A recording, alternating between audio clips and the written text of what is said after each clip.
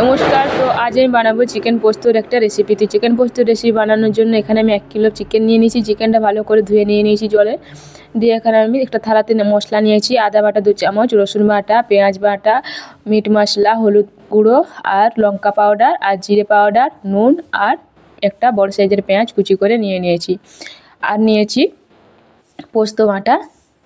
পোস্ত বাটা দু চামচ, দু দু থেকে তিন চামচ বড় চামচে বেটে করে নিয়ে নিয়েছি।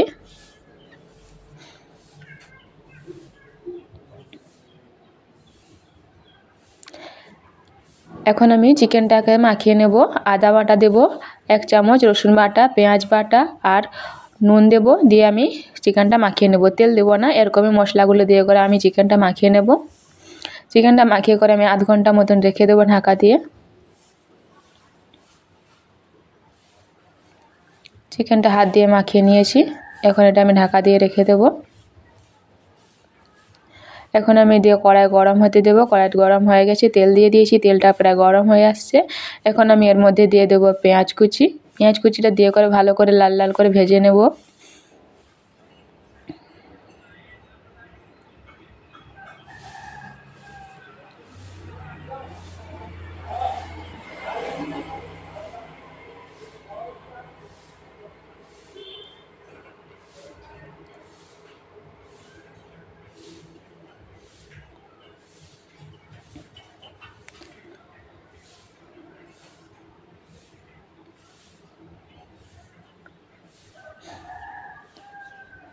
আমি কিন্তু তরকারিটা সাদা তেলে করছি। আমি সাদা তেলে বেশিরভাগ সব তরকারিগুলো করি। তোমরা চাইলে সর্ষের তেলেও রান্নাটা করতে পারো। আর একবার এইভাবে যদি চিকেন পোস্তের রেসিপি বানিয়ে করে খাও, বারবার বানাতে ইচ্ছা করবে এরকম একটা চিকেন পোস্তের রেসিপি এত টেস্টি হয়, এত টেস্টি হয়। যারা চিকেন পোস্ত খাওয়ানি কোনো দিন তারা তাদেরকে বলব অবশ্যই একবার ট্রাই করো আর আমাকে জানিও কেমন লাগল এই রেসিপি তোমাদের। আর যারা বানিয়ে খাও, তাদেরকে তো আর বলতে হবে না। তো পেঁয়াজগুলো ভাজা হয়ে গেছিল, দিয়ে আমি সব কটা মশলা দিয়ে দিলাম। মশলাটা দিয়ে করে আমি ভালো করে মশলাটা আমি ভেজে নেব। জল কিন্তু একটু অ্যাড করিনি। মশলাটা ভাজা হয়ে গেলে দিয়ে মধ্যে দিয়ে দেবো আমি চিকেনটা মাখানো চিকেনটা দিয়ে করে আবার ভালো করে নাড়াচাড়া করে নেব। যতক্ষণ না আসতে জলটা যাচ্ছে, ততক্ষণ আমি চিকেনটা ভাজতে থাকব।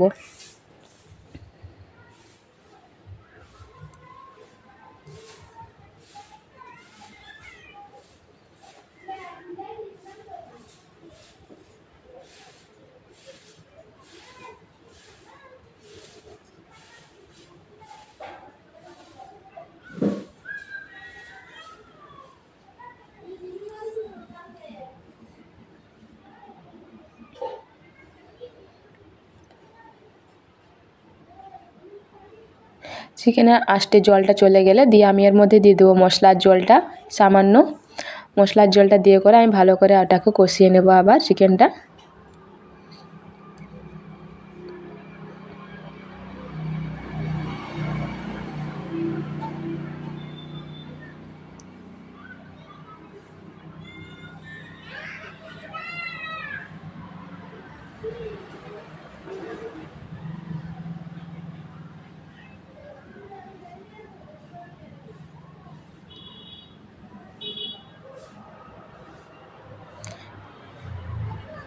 চিকেনটা এখন কষতে দেবো।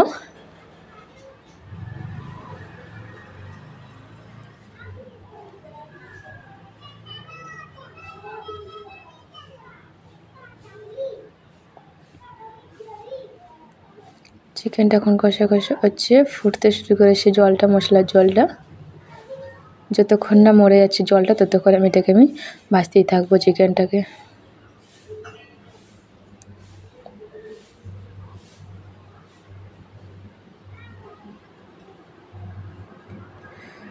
বন্ধুরা, তেতাল্লিশ ডিগ্রি গরম, রাত্রের বেলায় চিকেন রান্না করছি এভাবে বাইরে বসে, এত গরমের মধ্যেও কারণ দিদি এসছে, দিদি ছেলে মেয়ে এসছে চিকেন পোস্ত খায় বলে করে ওরা বায়না করছে। তার জন্য রাত্রে এইভাবে চিকেন পোস্ত রান্না করতে হচ্ছে। আমাকে তো গরমের মধ্যে বাইরে উনুনে।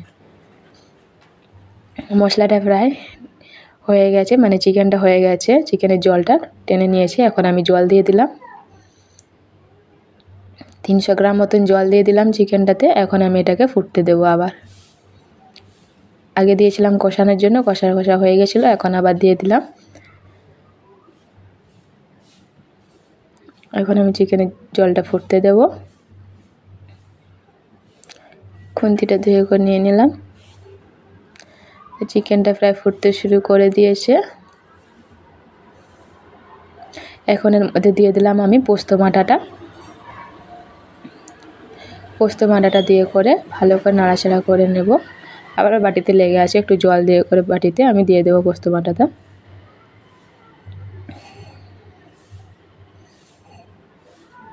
এরকমই আসছে না। জল দিয়ে করে দিয়ে দিলাম। এখন আমি এটা ফুটতে দেব।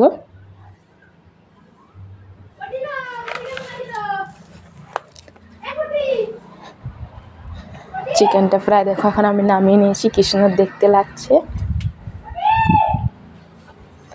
এখানে আমি সার্ভ করার জন্য একটা বাটিতে নিয়ে নিয়েছি কি সুন্দর দেখতে লাগছে, খেতে কিন্তু ভীষণ টেস্টি হয়েছিল। আমার রিকোয়েস্ট রইল, বন্ধুরা, তোমরা পারলে একবার এই রেসিপি ট্রাই করো, আর আমায় কমেন্ট করে জানিও কেমন লাগল। আমার তো মনে হয় তোমাদেরও ভীষণ ভালো লাগবে, আমার তো ফেভারেট এই রেসিপি আর আমার বাড়ির সবারও ভালো লাগে এই রেসিপিটা খেতে।